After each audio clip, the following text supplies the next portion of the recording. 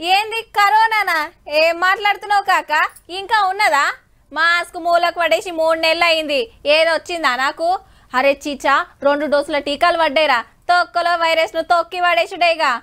అరే మామ దోస్తు గాంధీ బర్త్డే మొన్ననే జరిగింది. జోరుగా దావత్ చేసినాము. నువ్వేంద్రా ఇంకా దూరం దూరం అనబడితివి? ఇగో ఇట్లా అంటున్నారు ఇప్పుడు. వైరస్ బుగులే లేదు ఎవ్వరికి సుత. కానీ దీని పాడుగాను కేరళను మళ్ళా ఆగం చేస్తున్నది.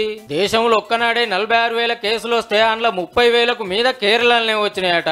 మూడు నెలల సంది గిన్ని కేసులు వచ్చుడు ఇదే ఫస్ట్ అట ఓనం పండుగ తర్వాతనే కేసులు పెరుగుతున్నాయి అనుకొస్తున్నారు. మాస్కులు జేబులో పెట్టిండ్రు దూరం ముచ్చడం మరిచి పది రోజులు ధూమ్ ధామ్గా పండుగ చేసే వరకు దొరికినోళ్ళని దొరికినట్టు అరుచుకున్నది వైరస్. ఇక ఇప్పుడు మళ్ళా లాక్ డౌన్ పెట్టే పరిస్థితి వచ్చిందాడ. రాఖీల పండుగ అయినాక కడవ రాష్ట్రాల్లో సుత కేసులు పెరుగుతున్నాయి. మహారాష్ట్రలో ఒక్కరోజే ఐదు వేలు ఆంధ్రాలో పదహారు వందలు తమిళనాడులో పదిహేను వందలు కర్ణాటకలో పన్నెండు వందల కేసులు వచ్చినాయి. మన తాన దినం మూడు నాలుగు వందల మంది నడుచుకుంటున్నది. ఇక వ్యాక్సిన్ ముచ్చట చూస్తే ఇప్పటికి దేశంలో అరవై కోట్ల ముప్పై ఎనిమిది లక్షల మందికి మీదనే టీకాలు వేసిండ్రు ఇటు జోరుగా టీకాలు వేస్తూనే ఉన్నారు అటు కేసులు కూడా పెరుగుతున్నాయి. ఇంకో దిక్కు కొన్ని రాష్ట్రాలలో బళ్ళు చాలు చేసిండ్రు. ఆంధ్రాలో పది రోజుల కిందనే బళ్ళు తెరిస్తే పోర్లకు కూడా అంటుకుంటున్నది మళ్ళా.